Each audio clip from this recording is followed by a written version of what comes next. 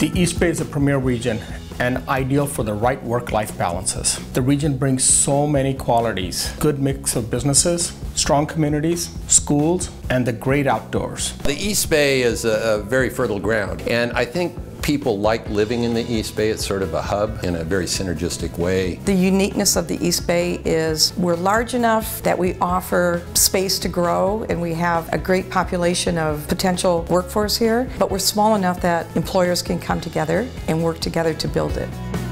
Alphabet Energy is a Hayward-based thermoelectrics technology company where we make waste heat valuable.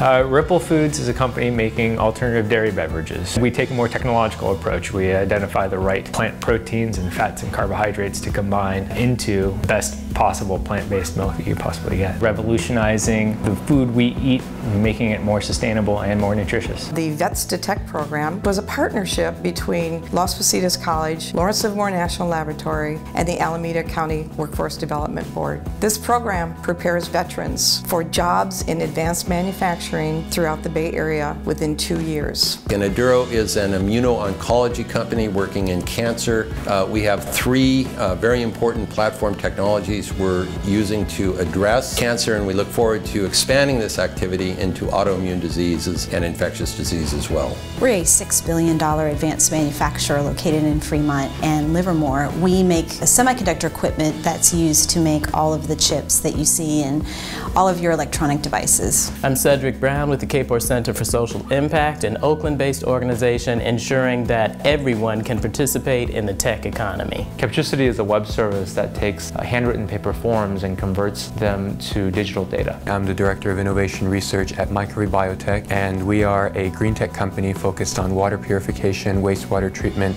and the production of bio-based chemicals. The East Bay is unique. We have diversity that you can't find anywhere else, and we have this culture of civic engagement.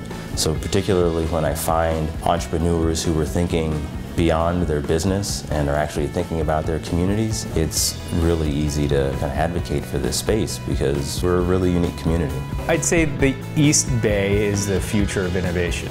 You're now seeing innovation starting in the East Bay uh, in Berkeley and Emeryville with synthetic biology companies and now some of the food tech companies. We have been able to build a pretty significant footprint in Fremont as well as manufacturing in Livermore. And working with both the cities and the county and even at the federal level, we've been able to quickly get permits, we've been able to expand and uh, build quite an infrastructure of uh, a thousand employees that live in the East Bay and are able to work uh, locally.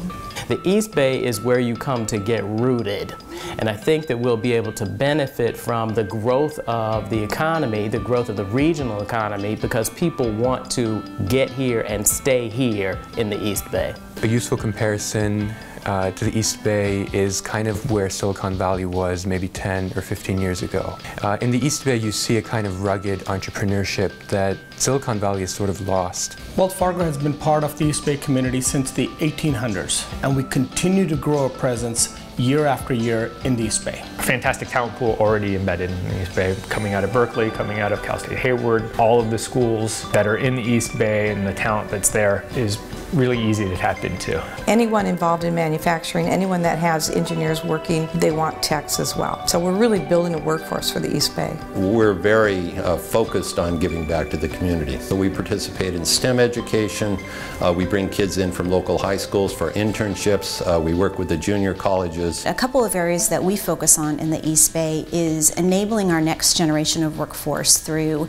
STEM education programs that we fund in the high schools. We're heavily invested in the East Bay community and many thanks to our partners like East Bay EDA who continue to keep us connected and further our presence with the small business owners. It's nice to be part of a vibrant, kind of changing, uh, diverse community, whereas I think there's a bit more of a tech monoculture in other places in the Bay. When we find some success, we'll get this really special opportunity to be part of the voice of tech equity and the way that tech shapes the community And I, I love the narrative here, especially in Oakland, you know, folks who talk about tech equity about how Oakland's going to shape tech. I love that, you know, reversal. There's work that can still be done here in the East Bay, and that's one of the things that I've really enjoyed tapping into while being here. It seems like it's a, a small enough community to access people, but it's a large enough community to contain many ideas and many perspectives. And we need both of those things in order to get